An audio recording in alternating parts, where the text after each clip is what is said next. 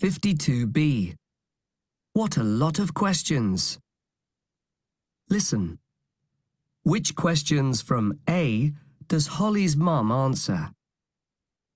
Mum, have you read the questions in this magazine?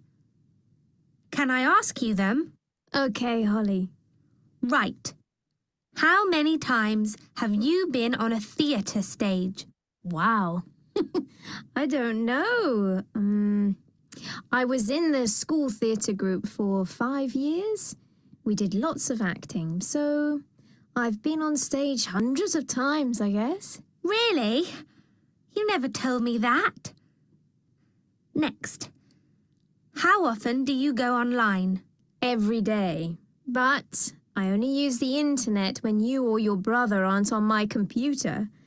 I try to answer my emails in the afternoon. Before we get home from school? That's right.